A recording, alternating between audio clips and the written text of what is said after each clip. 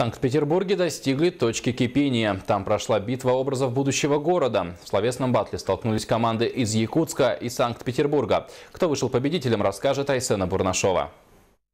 Коворкинг-центр «Точка кипения» в рамках «Форсайт флота» открыл свои двери для самых инициативных команд, представляющих регионы России. «Форсайт флот» – это достаточно молодое движение и при этом уникальное, не имеющее аналогов нигде в мире. Это формат групповой коммуникации, в ходе которой участники совместно разрабатывают дорожные карты отраслевого и территориального развития. В Якутии «Форсайт» практикуется с 2014 года. А будущее можно представить, но его надо приблизить, его надо делать. Основная фишка форсайта – это то, чтобы собрать ядерную команду.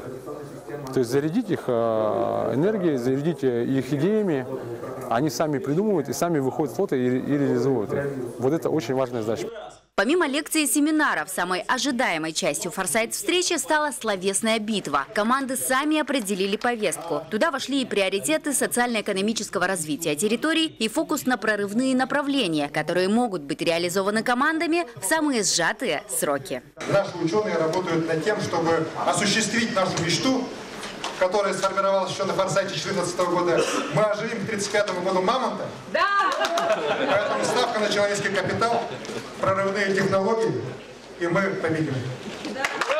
Помимо мамонта, козырями якутской команды выступили именитые помидоры, вечная мерзлота, культура и самое драгоценное – жители Якутии. Победителя батл встреч выбирали путем голосования в приложении Telegram. При этом учитывались голоса лишь сидящих в зале людей и исключительно из других регионов. Якутяне проявили креатив и с огромным отрывом завоевали победу. Это заслуга вот не одного дня, это вот то, что мы как год готовили Форсайт флот, готовили проекты, потом провели Форсайт флот, провели большую подготовительную работу к этому мероприятию, вплоть до съемок вот этих, ну скажем так, шутливых видео, это все, конечно, сыграло свою роль.